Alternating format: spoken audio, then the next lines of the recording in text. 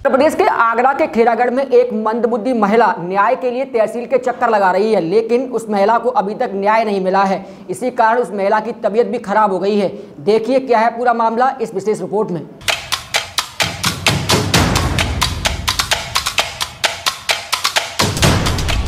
आगरा के खेरागढ़ तहसील की ग्राम पंचायत सोन की विधवा मंदबुद्धि महिला ओमवती बाइफ और भूरी सिंह की ज़मीन को सगे। रिश्तेदार नारायण सिंह पुत्र भोलाराम निवासी शमशाबाद ने बैंक का बहाना देकर विधवा महिला की एक बीघा ज़मीन अपने नाम करा ली और इस ज़मीन में पैसा लेकर गवाह देने वाले झम्मन सिंह निवासी सोन नगला, मलखान निवासी चीतपुर ने देकर उस गरीब विधवा महिला का एक बीघा ज़मीन धोखाधड़ी से नारायण सिंह के नाम करा दी। वहीं इस मामले की जानकारी विधवा मंदबुद्धि ओमबती के पति के बड़े भाई को सूचना मिली। तो उसने तुरंत खेरागढ़ एसडीएम को कोतवाली थाना खेरागढ़ तहरीर देकर आधार आरोप धोखाधड़ी करने वालों के खिलाफ कार्रवाई की मांग की है। गरीब विधवा महिला ने दो बार खेरागढ़ एसडीएम संगीता राघव के पास इस एप्लीकेशन को दिया लेकिन अभी तक धोखाधड़ी करने वालों के खिलाफ कोई भी एक्शन नहीं लिया गया। वहीं खेरागढ़ एसडीएम ने एप्लीकेशन पर खेरागढ़ कोतवाली पुलिस को मौके पर जाने के आदेश दिए लेकिन अभी तक खेरागढ़ पुलिस के प्रशासन के लोग इस गरीब महिला की मदद के लिए कोई जानकारी नहीं ली है। वही मंदबुद्धि विधवा महिला के पति के बड़े भाई गोपाल सिंह ने यूपीसीएम पोर्टल पर शिकायत करने के बाद आगरा जिलाधिकारी से न्याय की गुहार लगाई है।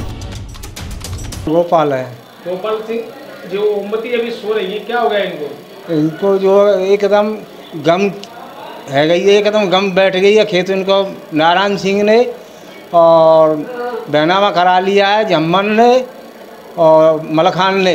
कितना खेत था इनका? एक बीघा। अच्छा और जिसमें हथियार बल्ले पहले तो इनके संग हो उस संग में बही ने खरीदो है महेंद्र का लड़का। अच्छा खेत उन्होंने ले लिया आपका? हाँ ले कौन हो? कितना खेत किसने लिया?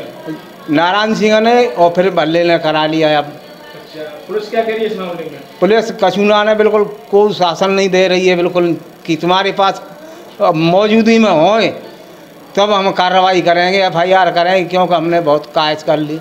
इसको क्या हो गया इस महिला को क्या हो गया? जी एकदम गम के मारे और हथगाते बहुत ज़्यादा हालत ख़राब है हैं आप?